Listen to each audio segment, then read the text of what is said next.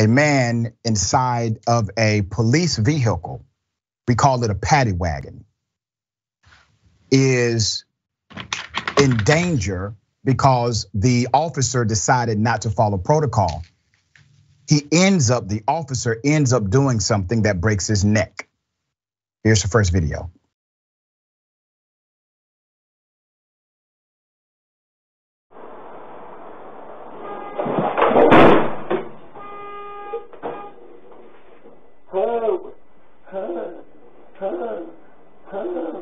I'm, I'm stopping. I'm gonna check you out.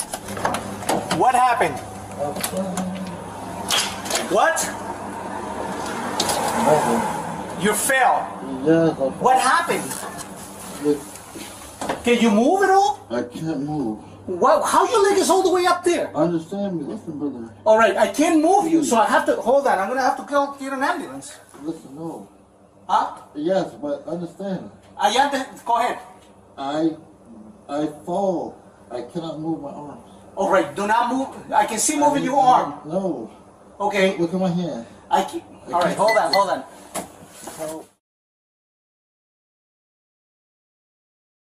I have more video, more context. Let me give you a little bit of background to this. Before this happened, the young man that you saw, 35 year old black male, while in New Haven custody, was Uh, kicking the door. He was likely kicking the door because maybe it was hot inside of that cabin. Well, police officers do something called giving an inmate a rough ride. We saw this with the Freddie Gray case as well. That's a tactic that law enforcement will use when they don't like a person in their custody. They will put them in the paddy wagon, not put a seatbelt on them, and start driving around erratically. is to punish the person in their custody.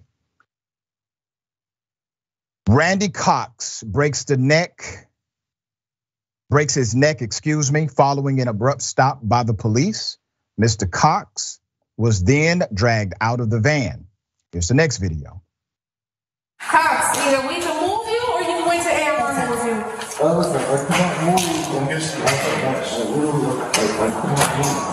down, my man. No, Jay. Yo, slide down so we can get out of here. Look, look. If you gotta drag me, go to cartoon. Alright, alright. But I like it. I live in here. Relax for a bit. Alright, there you go. Now, you're almost there. You're almost there. So I get your shoulders out. Ready? One, two, three. Stand up. There we go. All right. Get up. How you making out? Ready? Uh, I should go over the yeah. Get the. Huh? You ain't cracking. You just drink too much. No, you drink too much. I, I, I can't feel it, bro. Sit up. Stop playing around. Oh my God, bro. Yeah, sit up. You're doing you do extra. Sit up. Yeah.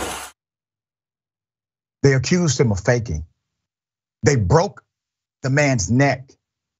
They were supposed to take him to a damn hospital. They took him to jail with a broken neck, moving the body, which is prohibited in situations like that. Look at all of the protocols that were violated. You're supposed to put the individual in your custody in a seatbelt. That's why they are present. You're supposed to follow basic traffic laws to make sure no one is injured. When someone is injured in your custody, you are supposed to immediately make sure they have emergency attention.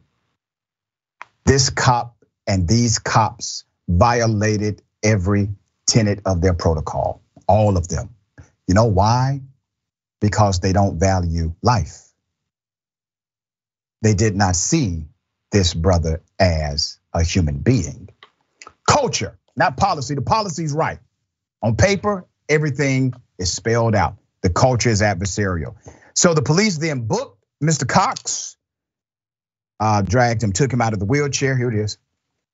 Oh, sit up. What else did you have? Did you have any drugs? Listen, no. Uh, You're not fine. How many did you? How much? Did you, okay. How much did you have to drink?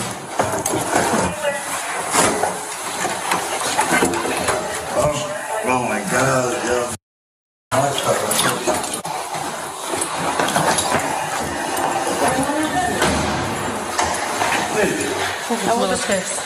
Huh? He's a little pissed. He's perfectly fine. You want to put these on? Yep. Hold on, Ron. Hold on, Ron.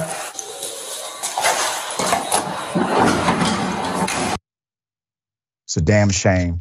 The ambulance eventually arrived. They immediately took him to the hospital. Let's put up his picture next to what happened after he was paralyzed. Richard Randy Cox was showing clear signs of paralysis. He was arrested on a gun charge of being taken to New Haven police detention when he was injured in the back of their transport van. Officer Oscar Diaz said he braked to avoid a collision. That is his story that he put on the record. Cox had to undergo surgery for his injuries and may suffer permanent paralysis. Let's talk about going against protocol here. All right. Diaz then resumed driving to the police department despite Mr. Cox, a human being, calling for help and saying he was injured and could not move. A few minutes later, Officer Diaz stopped the van to check on Mr. Cox, who was lying motionless on the floor. Officer Diaz then called paramedics, but told them, just meet us at the station instead of waiting. Yeah, I'm taking him to jail anyway. I'm gonna move him anyway. Okay, let's put up the picture of the acting chief. Okay, the acting police chief, Regina Rush Kittle, called the handling of Mr. Cox unacceptable. The chief placed five officers on paid leave while the June 19th incident is being investigated. Three of the police officers were placed on leave last week. Put up a picture of the mayor of this city. Okay. His name is Justin Elicker. In a statement, the good mayor expressed concern that the actions of the officers, and I quote, do not reflect the high standards to which I know other police officers hold themselves to every day. Damn lie. Let me tell you why that's a lie. You saw how many cops were involved in this, Mr. Mayor? Since you think your police department is so uh, culturally significant and correct, why is it that not one of those cops stopped this madness? Not one of them. Meanwhile, he said New Haven uh, prisoner transport vans not equipped with seatbelts have been taken out of service, and the police department is working to install seatbelts in vans that don't have them. While the state does not require seatbelts in local police convenience vans, the city will require them moving forward. Another dynamic, go to the video, there are seatbelts. This van had seatbelts in the video. Try again, Mr. Mayor. All right, Adrian, thoughts here.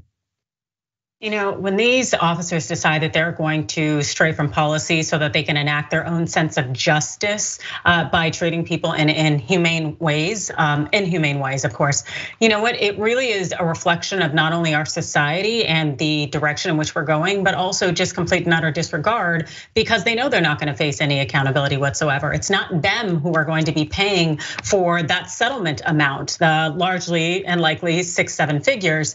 No, that's going to be coming from we the people people. And also, they got a paid vacation.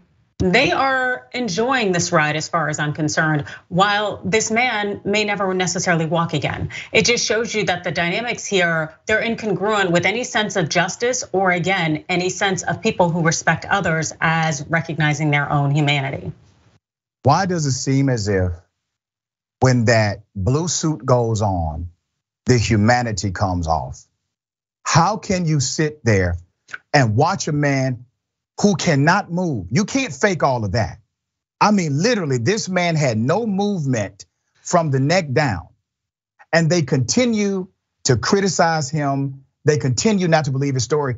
You have professionals who are trained, Adrian, to see things like this and do something. What suits can be brought against the police for their negligence or maybe even intentional action here?